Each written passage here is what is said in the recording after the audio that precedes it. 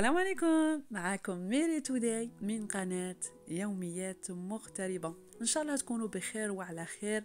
المعلومات اللي جبتهم لكم اليوم على التجمع العائلي بإيطاليا. الناس اللي طلبوا مني هذا الفيديو تأخرت عليهم شوية نقول لكم غير سمحوا لي. اتصلت بمركز الهجرة بإيطاليا باش نلم المعلومات وتكون دقيقة وصحيحة. وهذه هي المعلومات اللي تحصلت عليها والملف اللي جبته لكم اليوم. تابعوا الفيديو. إلى كل الذين يقيمون في إيطاليا بشكل شرعي والحاصلون على بطاقة إقامة لمدة سنة فما فوق يحق لهم الاستفادة من لم شمل الأسري. التحاق العائلي بإيطاليا إذا كان لك أحد الأفراد عائلتك في إيطاليا وأراد أن يستخدمك عنده فيجب أن تعرف أن هناك شروط يجب أن تتوفر فيكما معا. لكي تستفيد من لم الشمل العائلي. لذلك لذلك أعزائي المشاهدين ندعوكم إلى مشاهدة هذا الفيديو حتى النهاية. وما تنساوش اشتراك وتفعيل الجرس ليصلكم الجديد وإعجاب. السؤال اللي لازم يطرحه أي شخص على لم الشمل الأسري ولا لم شمل العائلة أو التجمع العائلي بإيطاليا هي من هم الأشخاص الذين الذين يستطيعون الاستفادة من الالتحاق العائلي بإيطاليا؟ أولا المهاجرون الذين يستطيعون طلب الالتحاق العائلي بإيطاليا هم الأشخاص الذين يقيمون في إيطاليا بشكل شرعي والحاصلون على بطاقة إقامة لمدة سنة فما فوق وهم كالتالي. الأشخاص الذين يتوفرون على شهادة إقامة من أجل عمل. أولا الأشخاص الذين يتوفرون على استثمار داخل إيطاليا. ثانيا معناتها الأشخاص الذين يمارسون يعني نشاطات حرة تجارة تجار يتوفرون على استثمار داخل إيطاليا. ثالثا الأشخاص الذين يتوفرون على إقامة دائمة في إيطاليا. رابعا الأشخاص الذين يقيمون في إيطاليا من أجل الدراسة يعني الأشخاص اللي عندهم إقامة آه، دراسية. والأشخاص الحاصلين على حق اللجوء في إيطاليا والأشخاص حاملين للجنسية الإيطالية. هادو هما هادو هما الناس والأشخاص اللي من حقهم يطلبوا آه، تجمع العائلي إذا كان أفراد أسرتهم يعني يعيشون ولا متواجدين في دولة غير أوروبا. كما ملاحظة وكاين أشخاص واحد آخرين كل هنا هؤلاء الأشخاص الذين يتوفرون على بطاقة إقامة لا تقل سنة يحق لهم طلب الشمل العائلي والتجمع الأسري. وهناك أشخاص بمعنى أشخاص الذين مثلا الذين عندهم استثمار حر وعندهم تأشيرة لمدة سنة. إذا كان عندهم تأشيرة لمدة سنة بهذه التأشيرة من حقه يطلب لم شمل العائلة المتواجدة في بلد الأم. ثانيا نروح ونشوف الأفراد ولا أفراد العائلة الذين يحق لهم الالتحاق بالمهاجر في إيطاليا. يحق للمهاجر أن يستخدم بعض أفراد عائلته من الدرجة الأولى وهم كالتالي.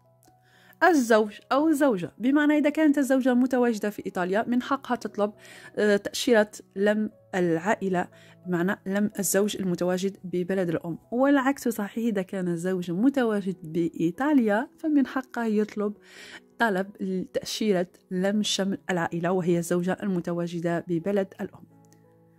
ثانيا الأبناء الغير بالغين. معناتها الأبناء الأقل من 18 سنة هنا من حق الزوج أو الزوجة أو في اثنين يطلبوا تأشيرة لم شمل الأبناء المتواجدين في بلد الأم.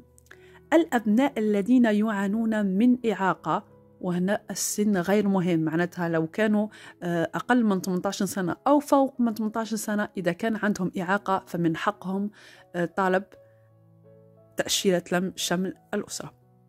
الوالدين ولكن بشرط ألا يكون لهم أبناء آخرين في بلد الأم أو لهم أبناء ولكن لا يعانون من إعاقة أو عجز يعوقهم من تكفل بالوالدين. وفي هذه الحالة يجب أن يكون الوالدان قد تجاوزا السن 65 سنة.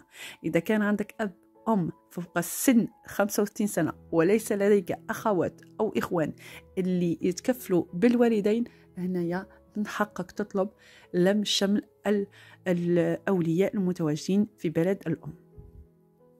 كما يمكنكم أو يمكنك جلب ابن الزوجة من زوج آخر إذا كان قاصر أو ابن الزوج من زوجة أخرى إذا كان قاصر بشرط موافقة الوالد أو الوالدة الأصلي.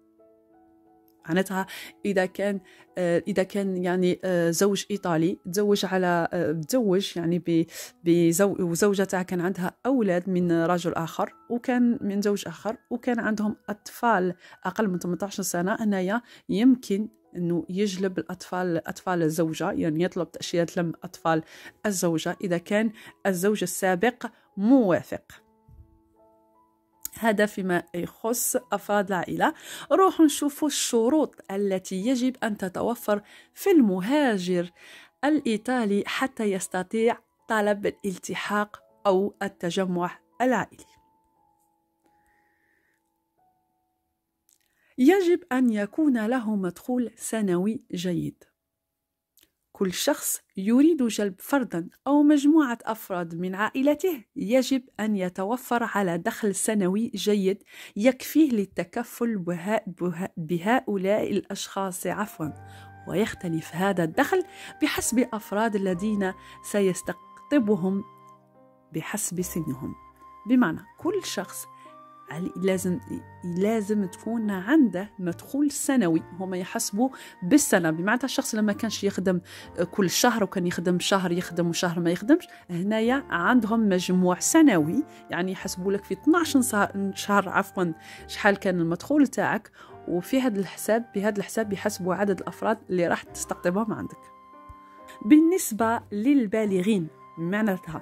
إذا كان الزوج آه، ونقولوا إذا كان سيجلب فردا واحد بالغ بمعنى الزوج متواجد في إيطاليا وزوجة متواجدة في بلاد الأم وهذا الزوج تقدم بطلب تأشيرة لم شمل العائلة يعني لم شمل الزوجة. هنا يجب يكون عنده مدخول سنوي يصل إلى 8737 يورو بمعنى 8737 أورو. إذا كان سيجلب فردين بالغين من عائلة فيجب أن يكون دخله يصل إلى 11650 يورو سنويا بمعنى 11650 أورو بارون هذا بالنسبة إذا كان مثلا هذا الابن متواجد في إيطاليا وعنده والديه متواجدين في بلد الأم فوق 65 سنة وتقدم بطلب لم شمل العائلة. هنا لازم يكون عنده مدخول سنوي يفوق 11600 و 650 يورو. إذا كان سيجلب ثلاث أفراد بالغين من عائلة فيجب أن يكون دخله السنوي يصل إلى 14560 أورو 14560 أورو. أما بالنسبة للقاصرين أقل من 14 سنة هنا هضرنا بالنسبة إذا كان غادي يجلب زوجة أو أولياءه أو ثلاث أشخاص. من شخص حتى ثلاث أشخاص. أما إذا كان غادي يجلب أطفال قاصرين أقل من 18 سنة في حالة الزوجة مع طفل أقل من 14 سنة فيكون الدخل السنوي 11650 أورو. 11650 أورو بارون في حالة الزوجة مع طفلين أقل من 14 سنة لازم يكون عندها الدخل 11650 اللي هو نفس الدخل إذا كان زوجة وطفل. يعني زوجة وطفل زوجة وطفلين يكون يدخل في السنة 11650 أورو. 11650 أورو. في حالة زوجة مع ثلاث أطفال أقل من 14 سنة فالدخل يبقى كما هو 11650 أورو. 11650 أورو 11650 أورو سنويا. في حالة كان الطفل أكبر من 14 سنة فيعامل معاملة الراشد ويدخل في حساب الأشخاص البالغين المذكورين في الفقرة السابقة. بمعنى في هذه الحالة الشخص هذا الطفل أكثر ولا أكبر من 14 سنة هنا يتقدم طلب يعني تقدم طلب لم شمل الغير راشدين الغير البالغين. ولكن في الحساب تاع الدخل يكون حساب الدخل مثل الراشد. بمعنى هنا نروحوا نروحوا للمرحلة لم شمل العائلة المتكونة من شخصين إذا كانت زوجة والابن تاعها ولا البنت اللي آه، أحد أبناء اللي يكون آه، أكثر من 14 سنة. اللاجئ معفي من تقديم الدخل السنوي لأنه لا يعمل ويحق له طلب لم الشمل الأسري إذا كان قدمت بطلب اللجوء السياسي في هذه الحالة أنت معني من تقديم هذه المستندات يعني لأنك لا تعمل ومن حقك تلم شمل الأسرة تاعك ثانيا يجب أن يتوفر المهاجر على سكن لائق. المرحلة الثانية نروح نشوفوا السكن. من بين الشروط الأساسية اللي لازم على المهاجر أن يتوفر عليها قبل تقدمه بطلب التجمع العائلي هو السكن اللائق اللي يسمح له باستقبال جيد للأفراد الأسرة حيث تخصص السلطات الإيطالية خبيرا يزور بيت المهاجر وكما كما أي دولة أوروبية وهو بحسب المساحة والمدة احترامه لقانون التعمير من التهوية والإضاءة الشمسية. يعني لازم يحترم المساحة باش يستقبل هاد العائلة اللي رايحة تجي كيف تتم مرحلة تقديم الطلب الالتحاق بإيطاليا؟ في هذه المرحلة غادي نروح ونشوفوا كيفاش تقدم الطلب تاعك باش تلم العائلة المتواجدة في البلد الأم. بعد أن تتوفر كل هذه الشروط يبقى على المهاجر جمع ملفه متكون من عدة وثائق. شهادة العمل جواز سفر مستندات الضريبة شهادة الدخل السنوي الصادرة عن المحاسب وشهادة السكن.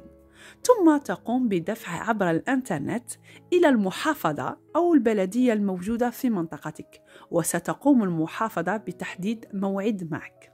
يعني لازم توفر هذه الشروط. لما تتوفر معك هذه الشروط تبعت هذه الوثائق عبر الإنترنت غادي نخلي لكم بالنسبة للناس المتواجدين في إيطاليا يعني غادي نخلي لكم مراكز الهجرة ولكن كل واحد وعلى حساب المحافظة تاعه تحطها عبر الإنترنت. نخلي لكم في صندوق الوصف. وفي آه، عبر البريد الإلكتروني راح تحط الوثائق المطلوبة شهادة العمل جواز سفر مستندات الضريبة لافيش ديزامبو وشهادة السكن وشهادة الدخل السنوي الصادرة على المحاسب. لما يوصل الموعد هما راح يحدوا موعد معك. لما يوصل وصول الموعد المحدد سيكون عليك تقديم جميع الأوراق والوثائق التي ذكرناها. بالإضافة إلى أوراق أخرى غادي يطلبوها هما منكم. بعد ذلك لازم يعني مدة الانتظار ومدة معالجة آه، معالجة الطلب لا يتعدى 90 يوم. مدة المعالجة. الناس اللي راهم يطرحوا لي سؤال في مدة معالجة هذا الطلب ما يتراوحش 90 يوم معناتها ثلاث أشهر. نروح نشوف الوثائق التي ستطلب من أفراد العائلة قبل الوصول إلى إيطاليا. كل ما عليكم ولا كل ما عليهم تقديم أي وثيقة تثبت وجود قرابة من الدرجة الأولى. مع الشخص المتواجد في إيطاليا للحصول على التأشيرة الإيطالية على سبيل المثال. يعني الوثائق اللي تقدموها للقنصلية الإيطالية المتواجدة في بلد الأم يعني تحطوا أي وثيقة تثبت القرابة وصلة القرابة بينكم وبين هذا الشخص اللي راه متواجد في إيطاليا. عقد الزواج بالنسبة للزوج أو الزوجة الحالة المدنية بالنسبة للأبناء وعقود الازدياد والصور وغيرها. يعني لما يعني تمر هذه المدة 90 يوم ويبعثوا لها الرد هذا الرد الوثيقة اللي يرسلوها له راح يبعثها للزوج أو الزوجة ولا الأبناء ولا الآباء يبعثها لهم باش يحطوه في الملف في الملف باش يحطوا طلب تأشيرة للقنصلية المتواجدة في البلد الأم. القنصلية الإيطالية والملف تاعهم هو جواز سفر صورة شخصية يعني النموذج يعني ما الاستمارة والوثيقة اللي راح يبعثوها من إيطاليا بمعنى قبل طلب لم الشمل راها راها قبل يبعثوا لك هذه الوثيقة بال بالعقد زواج عقد الزواج بالنسبة للزوج أو الزوجة ولا شهادة ميلاد كل هذا تحطهم في الملف تاعك لازم تاخذ موعد موعد لم الشمل الأسري regroupement آه، familial وهما راح يردوا عليك وتحط الملف تاعك وفي مدة تتراوح ما بين أسبوع حتى للشهر يعطوك التأشيرة تاعك وفي هذه المرحلة تنجم تسافر. ملاحظة للناس بزاف ما يعرفوهاش لما تسافر لإيطاليا تروح للبلدية ولا المنطقة اللي راك عايش فيها في غضون 8 أيام لازم تروح لمقر الشرطة الأقرب للمنطقة اللي راك فيها. ولازم تثبت حضورك يعني دير une déclaration باللي راك متواجد في هذه المنطقة وراح تعيش فيها. عندك 8 أيام باش تقوم بهذه عملية في الانستغرام والصفحة تاعي على الفيسبوك ونقول لكم خليتكم على خير ونتلاقوا إن شاء الله الأسبوع المقبل. سلام.